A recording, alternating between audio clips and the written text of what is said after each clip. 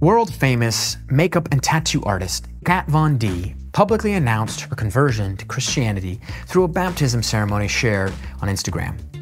In the video, she was baptized by a pastor and emerged from the water in a white robe, demonstrating her faith in Jesus Christ.